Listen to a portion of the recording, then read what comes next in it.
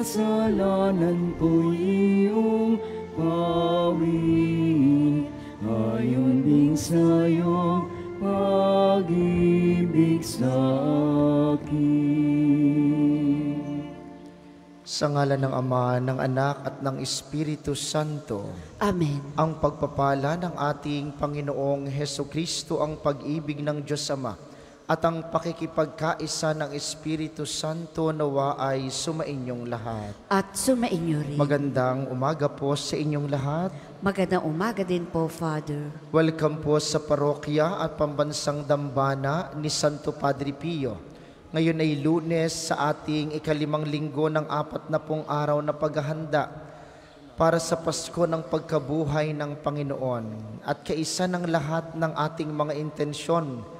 Ipanalangin natin ang lahat ng mga nagpamisa, lahat ng mga nagdiriwang ng kaarawan at anibersaryo sa araw na ito, ang mga patuloy na dumudulog kay Santo Padre Pio para sa kanilang mga kahilingan at karamdaman at para sa kapayapaan ng kaluluwa ng lahat ng ating mga yumao. Natatanging panalangin para sa lahat ng mga nagbibisita iglesia at mga pilgrim sa araw na ito. Aminin natin ang ating mga kasalanan upang tayo ay maging marapat gumanap sa banal na pagdiriwang.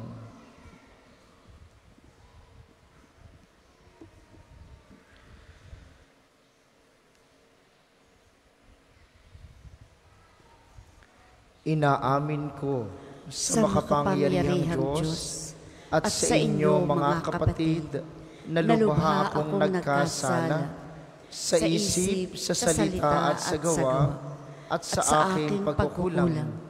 Kaya isinasamo ko sa mahal na Birheng Maria, sa lahat ng mga anghel at mga banal, at sa inyo mga kapatid na ako'y panalangin sa Panginoong ating Diyos. Kaawaan tayo ng makapangyarihang Diyos, patawarin tayo sa ating mga kasalanan, at patnubayan tayo sa buhay na walang hanggan. Amen. Panginoon, kawaan mo kami. Panginoon,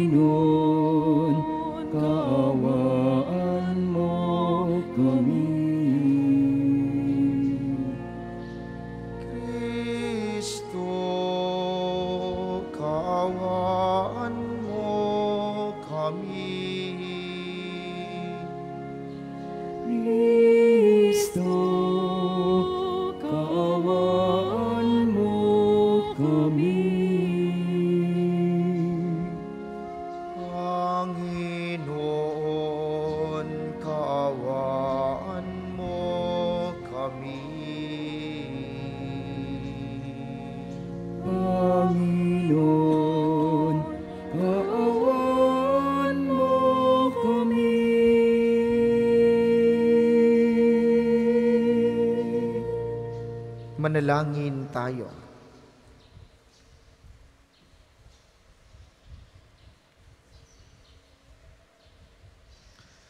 Ama naming makapangyarihan, ikaw ay nagmamagandang loob na sa iyong pagpapala kami mapuspos. Kaya't ihanda mo kaming kamtin ng iyong alindog sa langit, pakundangan sa pagbabagong sa luma naming ugali ipinalit sa pamamagitan ni Heso Kristo, kasama ng Espiritu Santo magpasawalang hanggan. Amen.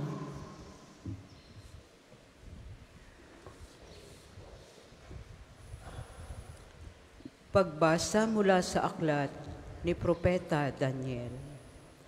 Noong mga araw na iyon, ang mga tao ay nagkaisang parusahan ng kamatayan si Susana. Dahil dito, malakas at umiiyak na sinabi ni Susana, Diyos na walang hanggan, nalalaman mo po ang lahat ng lihim at nakikita ang lahat ng bagay bago pa mangyari. Alam mo pong walang katotohanan ang ibinibintang nila sa akin. Hindi ko ginagawa kailanman ang ipinararatang nila sa akin. Bakit ako kailangang mamatay? Dininig ng Diyos ang kanyang dalangin nang si Susana ay dinadala na sa pagpapatayan sa kanya, isang binatang nagngangalang Daniel ang malakas na tumutol. Ayokong mapabilang sa magbububo ng dugo ang babaeng ito, sabi niya. Tinanong siya ng mga tao, Ano ang ibig mong sabihin, binata? Lumapit sa unahan ang binata at nagpatuloy ng pagsasalita. Mga Israelita, hangal ba kayo at hinatulan ninyo ang babaeng ito nang di mo na sinisiyasat at maingat na sinasaliksik ang katotohanan? Kailangang ulitin ang paglilitis. Walang katotohanan ang katibayang inilahad ng dalawang iyan. Nagdudumaling bumalik ang mga tao. Sinabi ng mga pinuno, Daniel, yamang binigyan ka na ng Diyos ng karunungang gaya ng isang matanda. Halika at sumama ka sa amin sa paghatol sa usaping ito. Pagkatapos nagsalita si Daniel, Paglayuin ninyo ang dalawang hukom at magkahiwalay ko silang sisiyasatin. Nang magpaglayo na sila, tinawag ni Daniel ang isa at sinabi, Matandang walang pinagkatandaan, inilalantad ka ng maraming makasalanang ginawa mo. Hindi makatarungan ang mga hatol na igagawad mo. Pinarurusahan mo ang walang kasalanan at pinalalaya ang talagang nagkasala.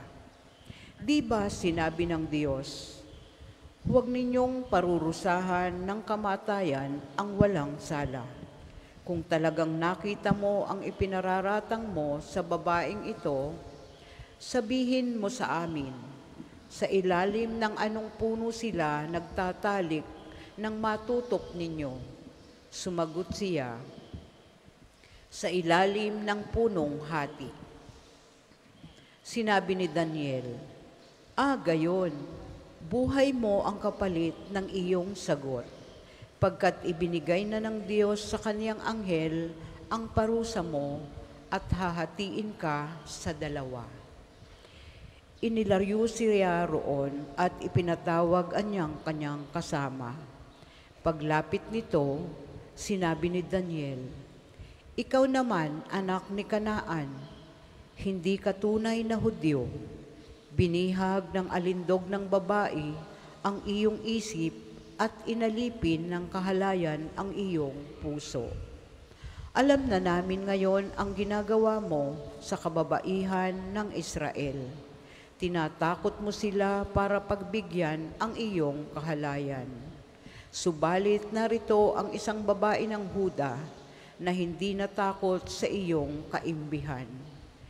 Sabihin mo, sa ilalim ng anong puno ninyo nakita ang inyong pinagbibintangan? At sumagot ang matanda, sa ilalim ng punong putol. Ah, gayon, pakli naman ni Daniel, buhay mo ang katumbas ng kasinungalingang ito, pagkat naghihintay na ang anghel ng Diyos upang putulin ka sa pamamagitan ng tabak. Dahil dito, nagsigawan sa tuwa ang lahat ng nakasaksi at nagpuri sila sa Diyos sapagkat inililigtas niya ang mga nagtitiwala sa Kanya. Binalingan nila ang dalawang hukom matapos patunayan ni Daniel na sila'y nagsisinungaling at nanumpa ng hindi totoo. Hinatulan silang mamatay.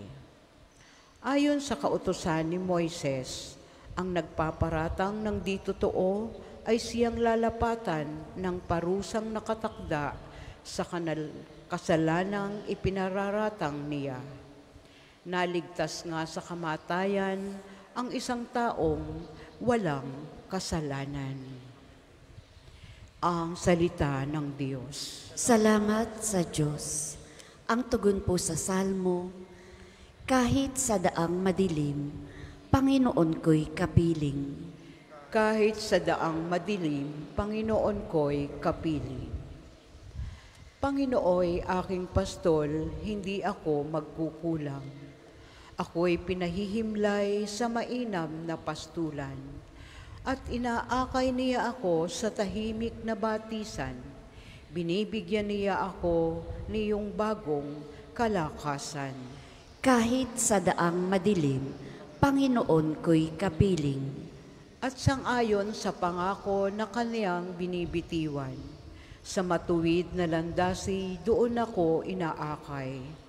Kahit na ang daang iyo'y tumatahak sa karimlan, hindi ako matatakot pagkat ikay kaagapay.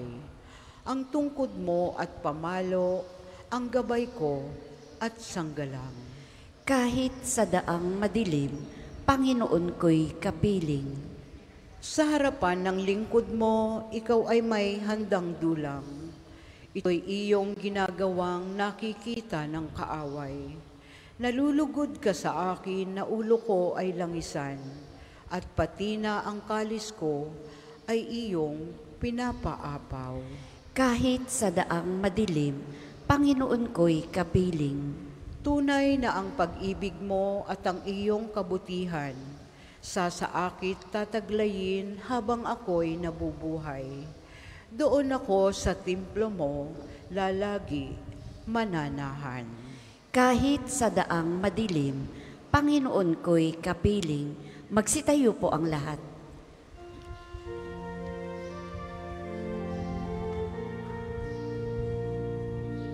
Sinabi ng poong mahal, di ko nais na mamatay ang mga makasalanan. Nagbabagong kalooban upang sila ay mabuhay. Sumainyo ang Panginoon. At sumainyo rin. Ang mabuting balita ng Panginoon ayon kay San Juan. Papuri sa iyo, Panginoon. Noong panahong iyon, si Jesus ay pumunta sa bundok ng mga olibo. Kinaumagahay nagbalik siya sa templo. Lumapit sa kanya ang lahat, kaya't umupo siya at sila'y tinuruan. Nooy dinala sa kanya ng mga iskriba at ng mga pariseyo ang isang babaeng nahuli sa pakikiapid.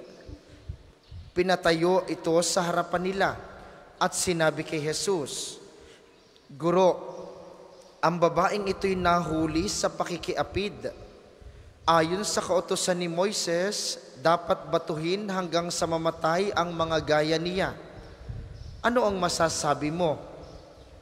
Itinanong nila ito upang subukin siya nang may maisumbong sila laban sa kanya. Ngunit yumuko si Jesus at sumulat sa lupa sa pamamagitan ng daliri.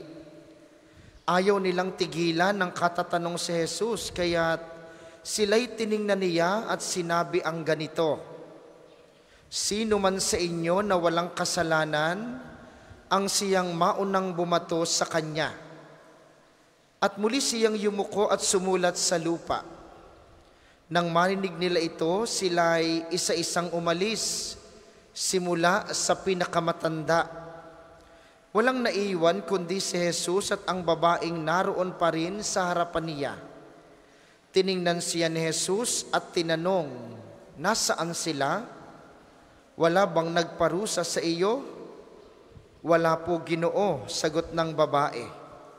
Sinabi ni Jesus, hindi rin kita parurusahan. Humayo ka at huwag nang magkasala. Ang mabuting balita ng Panginoon. Pinupuri ka namin, Panginoong Heso Kristo.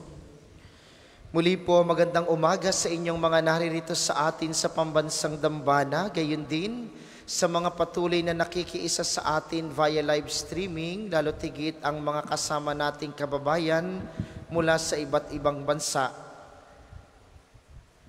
Tanging panalangin sa mga nakikiisa tuwing misa ng alas 7 ng umaga sa pamamagitan ng opisyal na himpilan ng radyo ang 95.9 Radyo Totoo dito sa Batangas at mga karatig lalawigan. Kumusta po ang paglalakbay ninyo ngayong kwaresma? Ito'y huling linggo na. Ngayon pong darating na linggo'y sisimulan natin ang mga mahal na araw. Simula ng linggo ng palaspas. Kumusta na po? Saan na kayo dinala ng inyong pagsasakripisyo?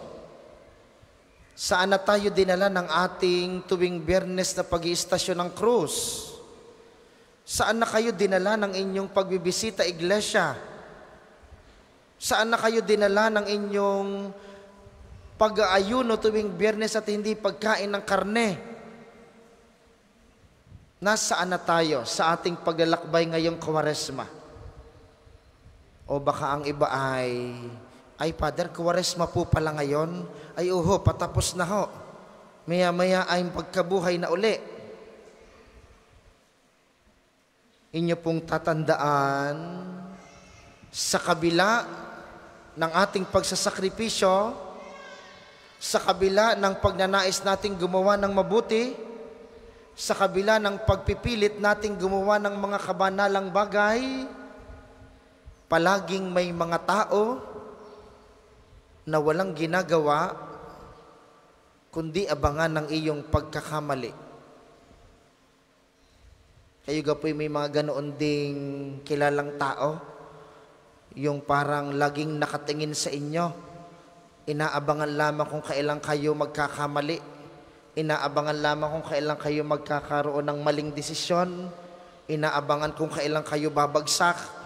Inaabangan kung kailan kayo magkakaroon ng kasiraan. Huwag na ho kayong lumayo, ano? Hindi malalayo ang mga taong iyan. Yan ay mga kasama ninyo sa bahay ang iba. Ang iba'y nasa likod bahay ninyo. Ang iba na may tuwing biyernes lamang nabisita sa inyo. Diba? Sabi na rin, sabi sa iyo eh, huwag mo nang papuntahin ng iyong ina sa atin eh. sa mabuting balita ngayon, tingnan nyo ang mga pariseyo,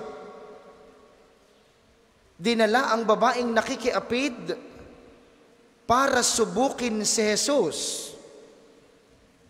Para tingnan kung magkakamali si Jesus. Para hanapan ng kasiraan si Jesus. Ang unang pagbasa, isa sa pinakamahaba pero napakagandang kwento.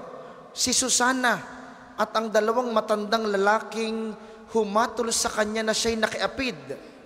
Ang buong kwento nito, kung bakit siya pinagbintangan, dahil gustong makipagtalik ng dalawang matandang lalaking ito kay Susana, hindi niya pinagbigyan.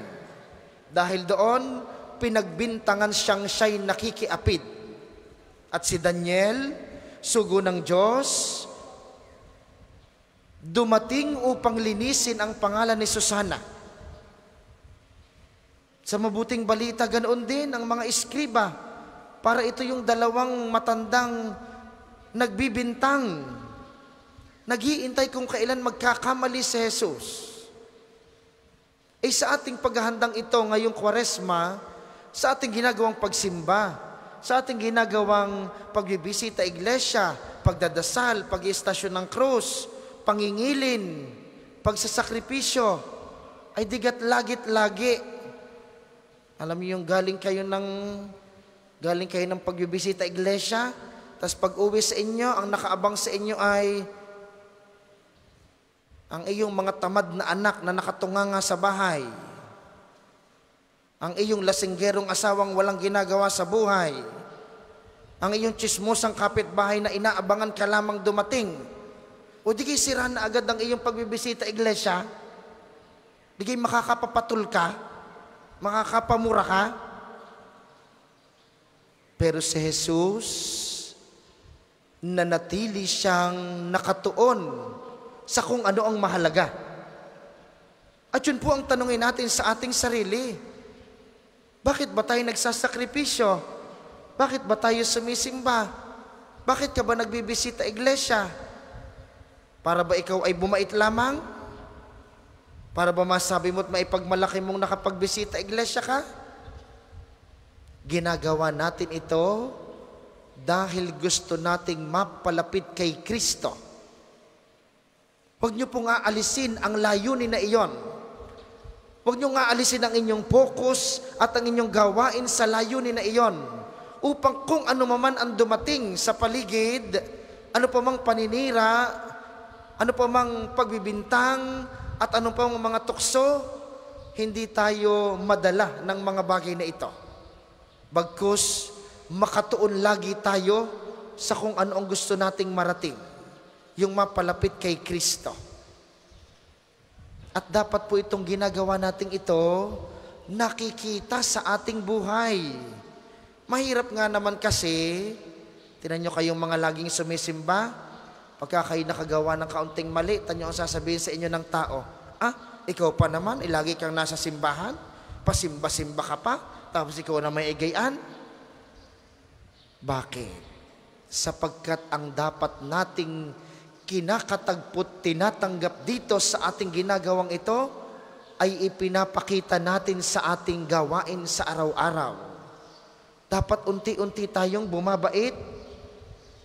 Dapat unti-unting nababawasan ang iyong pagiging magagalitin. Unti-unting nababawasan ang iyong katarayan. Unti-unting nababawasan ang iyong kadamutan. Unti-unti kang nagtitimpi sa iyong pagiging bungangera. Bakit? Dahil nakatagpo mo sa mga gawaing ito si Kristo. Para hindi masayang. Tingnan niyo po ang paalaala ng Aral Batanggenyo sa atin. Ang lokal na katisismo dito sa Batangas. Number 859. Ang sabi po doon, mapanganib na ang pagkilala sa Diyos ay manatili lamang sa isipan at walang kaugnayan sa pamumuhay araw-araw. Nakakatakot na yung Kristo, na yung Diyos, na yung kabutihan na iyong makakatagpo sa mga ginagawa mong ito ay mananatili lamang dito. Ito'y dapat na ipapakita sa iyong mga gawa. Kaya nga ang Kristo na iyong makakatagpo ngayong araw na ito sa iyong pagbisita sa pambansang dambana ay dapat Kristong iyong maibabahagi sa iba. Oot nariyan ang problema, oot nariyan ang tukso, pero dapat lagi kang nakatuon sa iyong layunin, yung maibahagi si Kristo sa kapwa.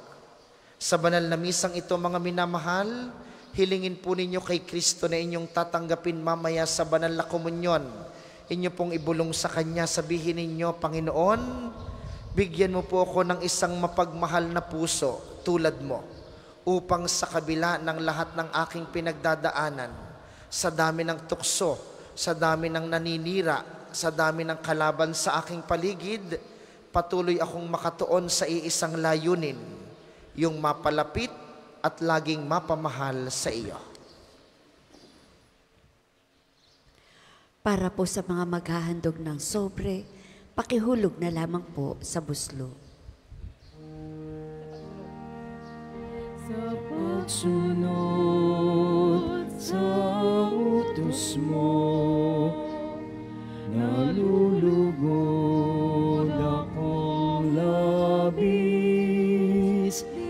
imasukat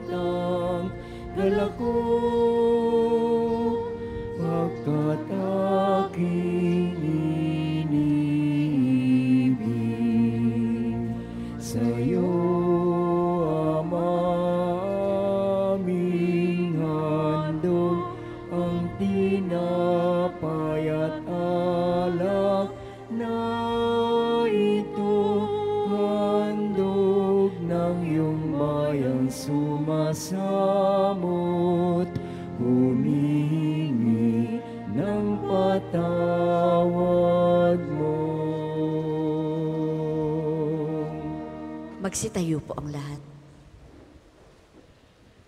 Manalangin kayo mga kapatid upang ang paghahain natin ay kalugdan ng Diyos amang makapangyarihan. Tanggapin nawa ng Panginoon itong paghahain sa iyong mga kamay. sa kapurihan niya at karangalan sa ating kapakinabangan at sa buong sambayanan niyang banal. Ama naming lumikha, kaming gaganap sa banal na paghahain ay buong galak nawang makaharap ng may kadalisayang angkin upang ang bunga ng aming pagtitiis ay maipamalas namin sa pamamagitan ni Heso Kristo kasama ng Espiritu Santo magpasawalang hanggan. Amen.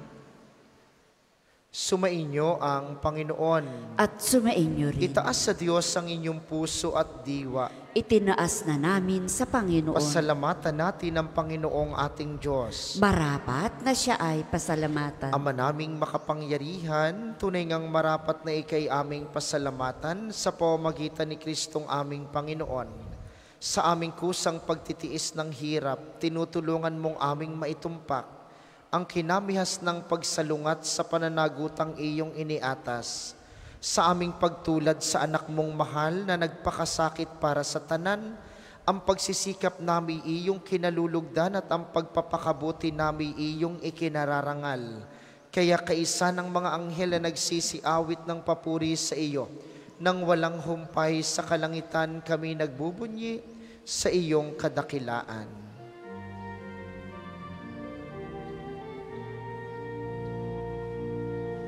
Banal ka poong may kapal, banal ang iyong pangalan, banal ang iyong kaharian. Langit lupa'y nagpupugay sa iyong kadakilaan. Dinarakila ng naparito mong anak na siyang nagmulat sa bulag. Sa pilay ay nagpalakad at nakiramay sa lahat. Kung hindi po kayang lumuhod, ay manatili pong nakatayo ng may paggalang. Ama naming banal, ikaw ang bukal ng tanang kabanalan, kaya't sa pamamagitan ng iyong Espiritu, gawin mong banal ang mga kaloob na ito upang para sa amin ay maging katawan at dugo ng aming Panginoong Heso Kristo. Bago niya pinagtiis ang kusang loob na maging handog, hinawakan niya ang tinapay, pinasalamatan kaniya, pinaghati-hati niya iyon, iniabot sa kanyang mga alagad at sinabi, Tanggapin ninyong lahat ito at kanin, ito ang aking katawan, na ihahandog para sa inyo.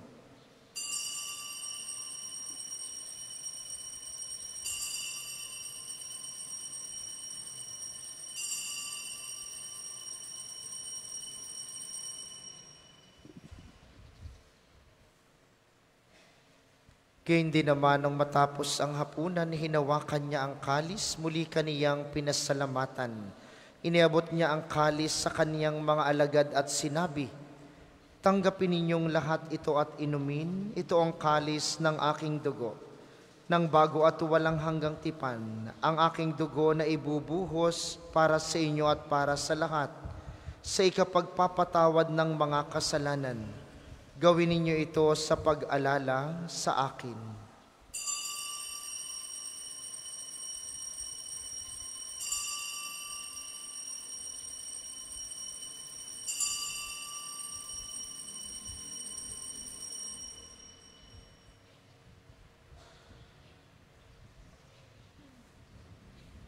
Ipagbunyi natin ang misteryo ng pananampalataya. Si Kristo'y namatay, si Kristo'y nabuhay, si Kristo'y babalik sa wakas ng panahon. Ama, ginagawa namin ngayon ang pag-alala sa pagkamatay at muling pagkabuhay ng iyong anak. Kaya't iniaalay namin sa iyong tinapay na nagbibigay buhay at ang kalis na nagkakaloob ng kaligtasan. Kami nagpapasalamat dahil kami iyong minarapat na tumayo sa harap mo para maglingkod sa iyo. Isinasamo namin kaming magsasalo-salo sa katawan at dugo ni Kristo ay mabuklod sa pagkakaisa sa pamamagitan ng Espiritu Santo. Ama, lingapin mo ang iyong simbahang laganap sa buong daigdig. Puspusin mo kami sa pag-ibig kaisa ni Francisco na aming Santo Papa at ni Gilbert na aming obispo at ng Tanang Kaparian. Alalahanin mo rin ang mga kapatid naming nahimlay nang may pag-asang sila'y muling mabubuhay, gayon din ang lahat ng mga pumanaw. Kaawaan mo sila at patuloyin sa iyong kaliwanagan. Kaawaan mo at pagindapatin kaming lahat na makasalo sa iyong buhay na walang wakas. Kaysa ng mahal na Birheng Maria ang ina ng Diyos, ni San Jose na kanyang esposo, kaysa ng mga apostol at ng lahat ng mga banal na namuhay dito sa daigdig ng kalugod-lugod sa iyo, ay pagdiwang nawa namin ang pagpupuri sa ikararangal mo sa pamamagitan ng iyong anak na aming Panginoong Heso Kristo. Sa pamamagitan ni Kristo kasama niya at sa Kanya, ang lahat ng parangal at papuri ay sa iyo, Diyos samang makapangyarihan, kasama ng Espiritu Santo magpasawalang hanggan. Amen,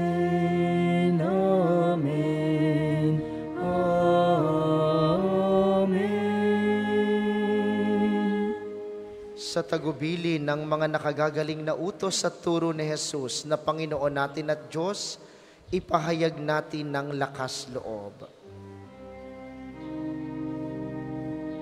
Ama namin, sumasalangit ka.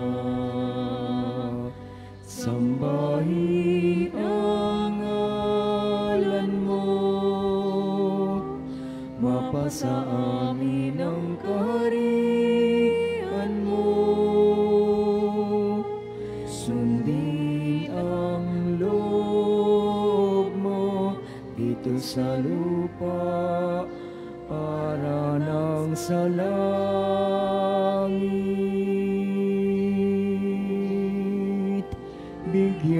kami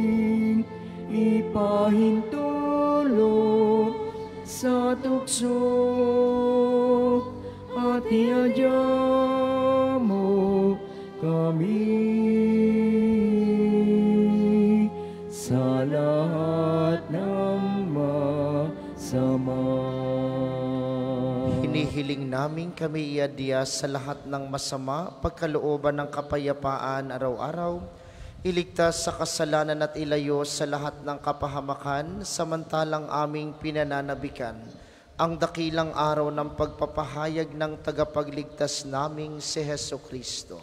sapagkat iyo ang kaharian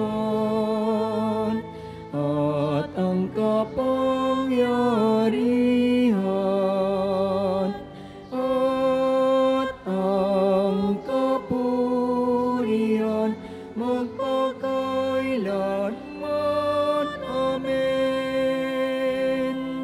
Panginoong Heso Kristo, sinabi mo sa iyong mga apostol, kapayapaan ang iniiwan ko sa inyo, ang aking kapayapaan ang ibinibigay ko sa inyo.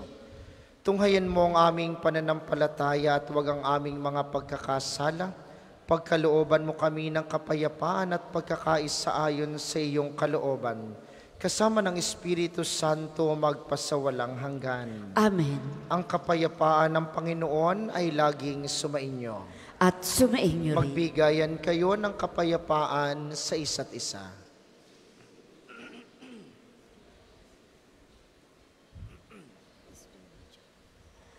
Kordero ng Diyos na nag-aalis ng mga kasalanan ng sanlibutan, maawa ka sa amin. Kordero ng Diyos na nag-aalis ng mga kasalanan ng sanlibutan, maawa ka sa amin. Kordero ng Diyos na nag-aalis ng mga kasalanan ng sanlibutan, ipagkaloob sa amin ang kapayapaan. Kung hindi po makaluluhod, ay manatili pong nakatayo ng may paggalang.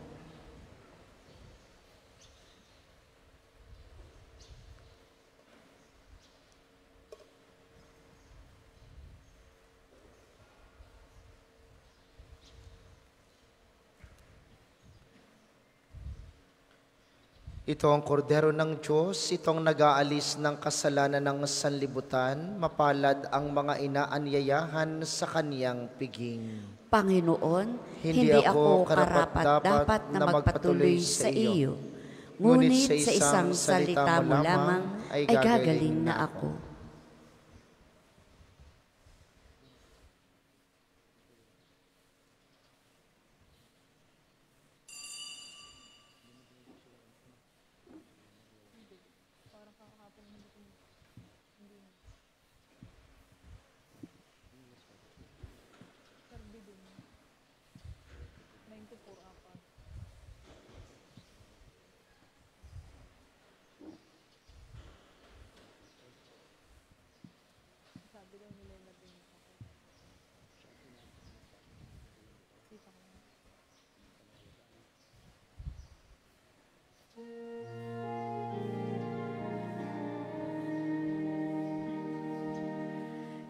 Jesus na aking kapatid,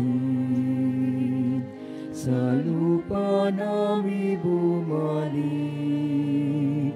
Iyong mukha'y ibang iba,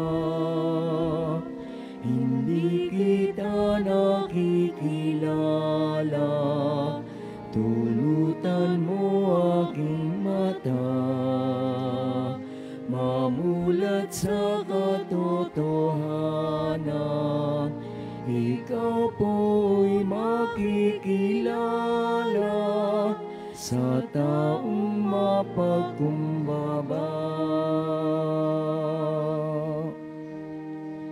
Jesus na aking kapatid, putikin man ang iyong sapin, punit-punit ang iyong damit, nawa ika'y mapasa tulutan mo aking mata, mamulat sa katotohanan. Ikaw po'y makikilala sa taong mapagkumbaba.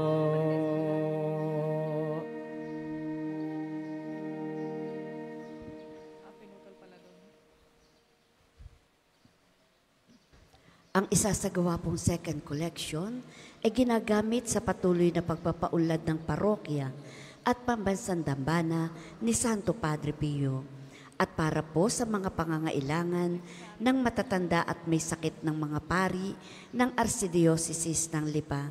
Salamat po sa inyong handog. Jesus na aking kapatid, putikin man ang iyong sapin, punit-punit ang iyong damit, nawa ika'y mapasa akin, tulutan mo aking mata, mamulat sa katotohanan. Ikaw po'y makikilala sa taong mapagkumbaba. Jesus na aking kapatid, sa bukid ka nagtatanim, o sa palengke di naman, ikaw ay naghahanap buhay.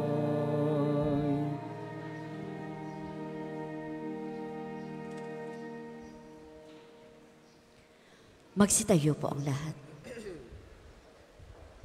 Manalangin tayo. Ama naming mapagmahal, kaming pinapakinabang mo sa piging ng iyong pagpapala, ay pamalagiin mo nawa nitong walang hilig sa masama, at sa gayoy maliksi naming masundan ang yapak ng halimbawa ni Heso Kristo ang aming tagapamagitan kasama ng Espiritu Santo magpasawalang hanggan. Amen. Sabay-sabay po nating dasalin ang panalangin ng pagtitiwala kay Santo Padre Pio.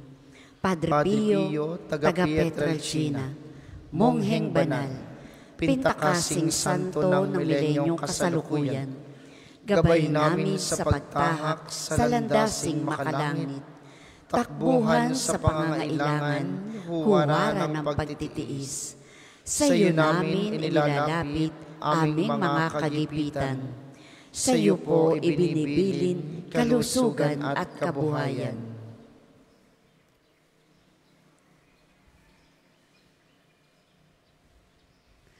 Di man karapat dapat, Kami po ay pagbigyan, bendisyonan at basbasan, maging ganap sa buhay. Lumayo nawa kami, umiwas sa kasalanan, lumapit lagi sa Diyos, maging matatag at matibay. Sa mabuting balita ng pagliligtas, turuan mo kami nawa. Sa tuwina ay makinig, magnilay at sumampalataya. Amin pong pakiusap itong mga kahilingan. Puso ay nagsisisi, nagtitikang taimtiman. Di na muling magkasala, sunod lagi sa Diyos Amang, kaisa ng Espiritu at ni Jesus na tagapamagitan. Amen. Magsiupo muna tayong lahat para sa mga patalastas. Una sa inyong pagbisita sa pambansang dambana, mangyaring pakaingatan ng inyong mga personal na gamit.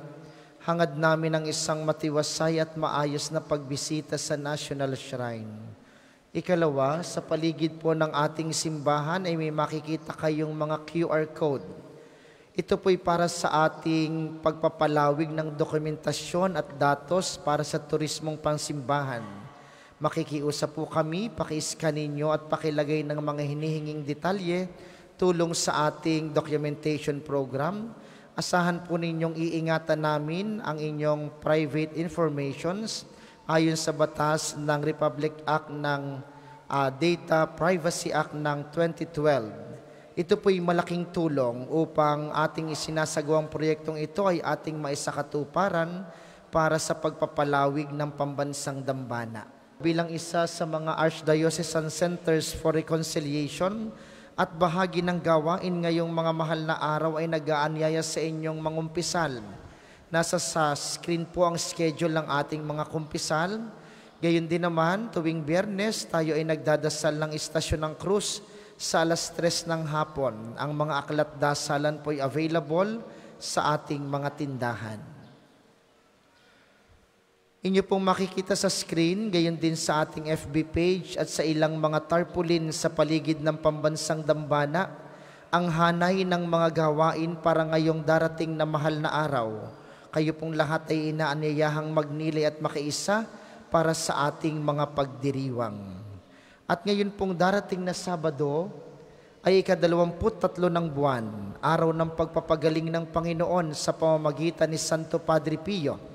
Ang mga oras po ng ating healing masses at healing liturgy na may paggagawad ng langis, una ay sa alas 9 ng umaga, pangungunahan ng ating mahal na Arsobispo Gilbert Garcera, at sa alas 5 ng hapon, pangungunahan ng ating bisitang paring Indiano mula sa SDB Congregation.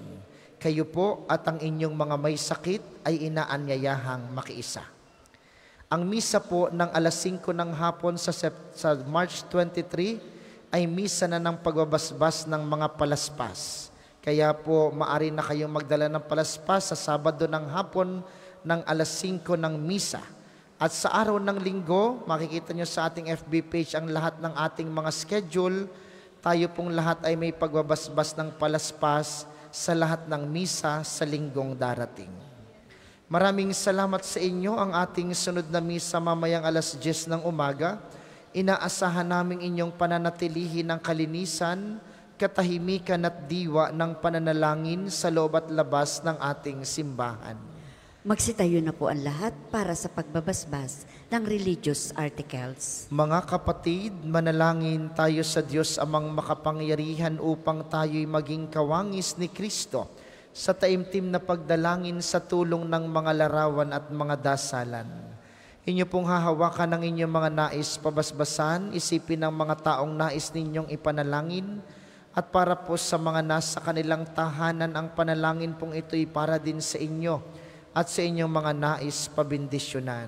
O Panginoong Diyos, Ikaw ang bukal ng lahat ng pagpapala at biyaya, ibuhos mo ang iyong bendisyon sa mga gamit na ito sa pananalangin, ang mga rosaryo, mga imahen, mga dasalan, mga healing rub at mga miracle oil na nagpapaalaala ng iyong kabutihan, kabanalan at pagmamahal sa amin, upang ang lahat na dumulog at magdasal gamit ang mga ito ay magtamo ng iyong awa at biyaya. Loobin mong tularan nila ang kabanalan at aral ng Panginoon at mga santo magpasawalang hanggan. Amen. Ama namin, sumasalangit ka. Sambahin ang ngalan mo. Mapasa amin ang kaharian mo. Sundin ang loob mo dito sa lupa para na sa langit. Bigyan mo kami ngayon ng aming kakanin sa araw-araw at patawarin mo kami sa aming mga sala para ng pagpapatawad namin sa mga nagkakasala sa amin at huwag mo kaming ipahintulot sa tukso at iadya mo kami sa lahat ng masama. Amen. Aba Ginoong Maria, napupuno ka ng grasya. Ang Panginoong Diyos ay sumasa iyo. Bukod kang pinagpala sa babaing lahat at pinagpala naman ang iyong anak na si Jesus. Santa Maria, Ina ng Diyos, ipanalangin mo kaming makasalanan, ngayon at kung kami mamamatay. Amen.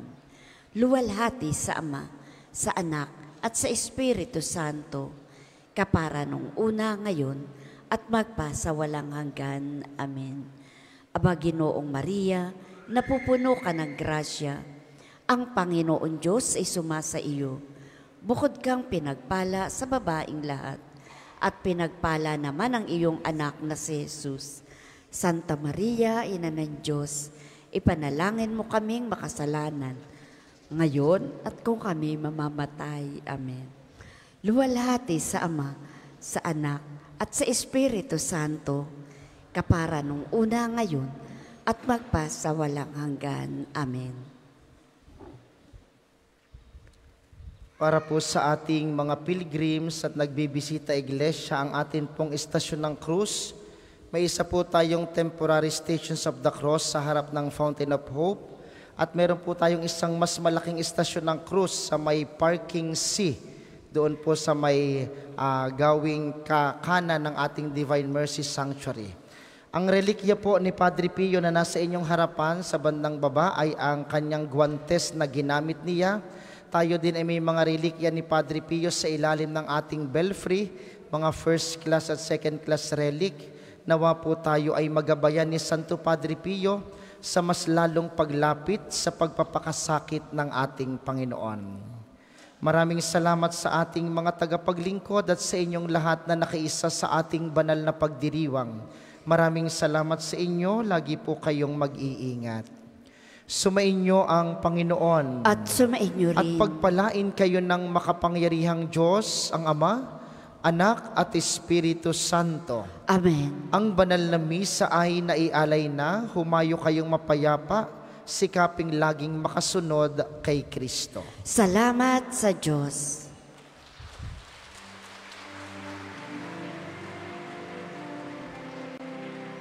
Walang sino man ang nabubuhay para sa sarili lamang.